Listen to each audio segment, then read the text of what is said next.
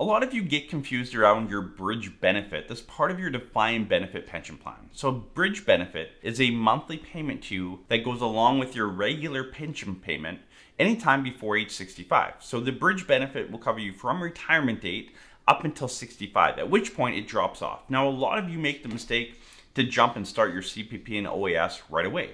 That's not necessarily the best solution. Make sure you have a comprehensive financial plan to see what makes the most sense for you. Every bridge benefit amount is different, it varies, the calculation's a little bit different. So look into your defined benefit plan to see if you have a bridge benefit, how it works, and how much you'll get paid on it.